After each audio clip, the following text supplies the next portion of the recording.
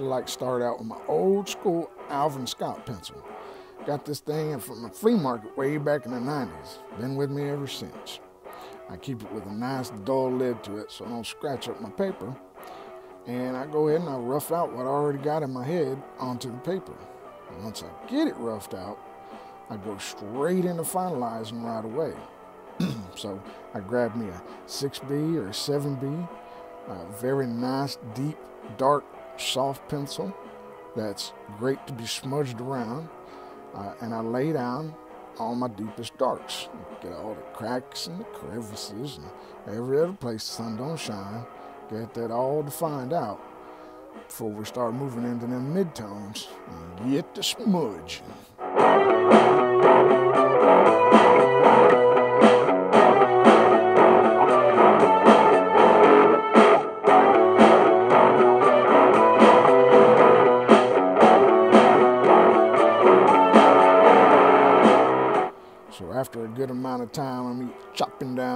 Light with my pencil savers here, uh, I go ahead and grab me a piece of rolled up paper they call a blending stick, and uh, I get to smudgy, smudgy, smudging.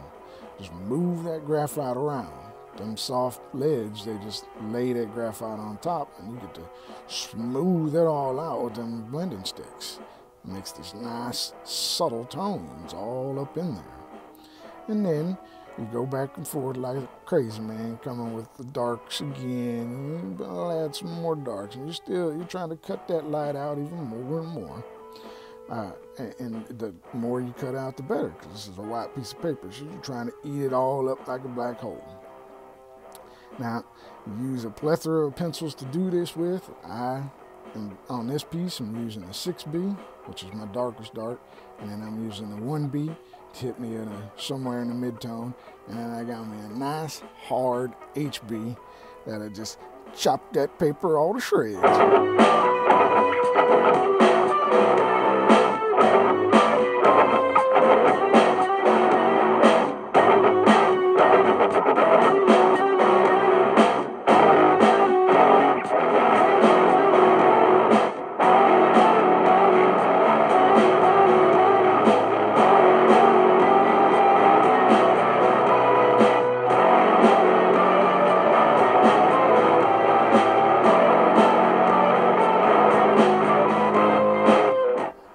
This here dragon, her skin is uh, a, a, texture is like similar to a, a, a, vinyl or a leather, right? And uh, it, it's it's kind of like made the same way a bug's skin or exoskeleton is made. You know, it's it's kind of plasticky, whatnot. So when I render it, I'm gonna render it nice and smooth, but she also has these grooves all over her, kind of like a, you got to think of like a vinyl record. Uh, that's that's what her skin is kind of like. It's just kind of a lot more flexible. So I'm gonna smooth it all out like a nice smooth plastic with my blending stick, and then I'm gonna add the grooves later. But these blending sticks, I'm here to tell you, they they can work some wonders now. They some magical tools once I discovered them, my, my whole drawing game changed, you know. I mean, they they really change everything. They they add some subtle stuff. I mean, they have the power to render realism.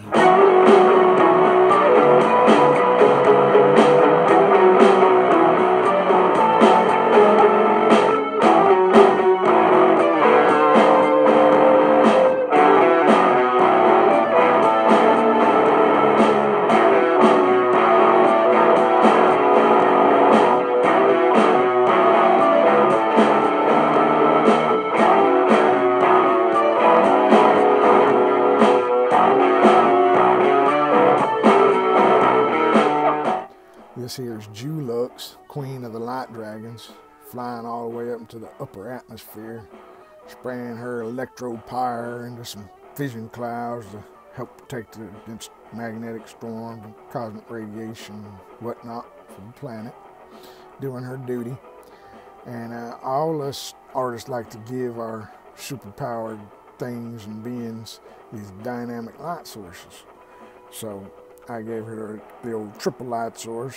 She's got the light coming from above, from whatever star there is up there above her. And uh, then there's some reflected light from below up in the front that you can see. And uh, then, of course, you got that big, old, gigantic, Godzilla-sized beam.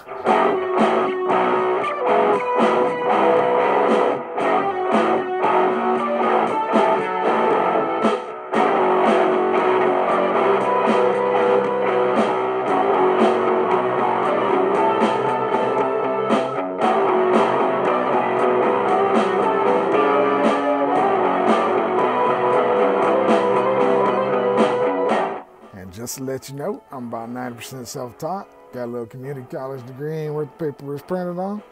I've got no set order operations when it comes to creating these values. I go from light to dark, to dark to light, till I get to the place where I think it's right.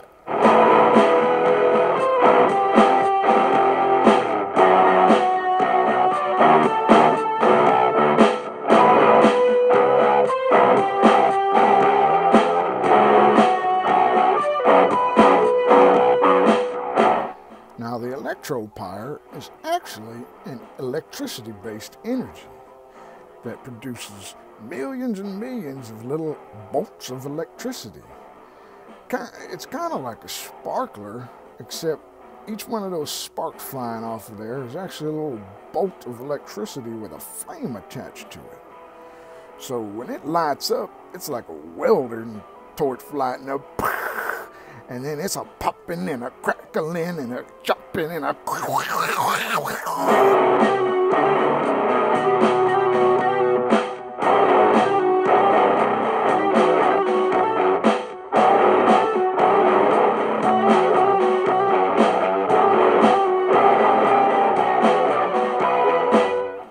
So after I get done rendering these flames with my old smudge stick, I'll come in at the end with my white pen and uh, draw in a bunch of lightning bolts in there.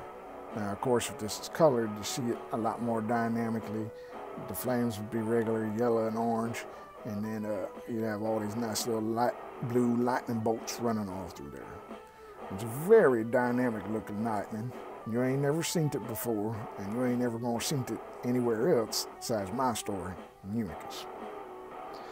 Well, anyway, this, that's about it for this one. Y'all stick around, watch the rest of this video, watch me finish this piece.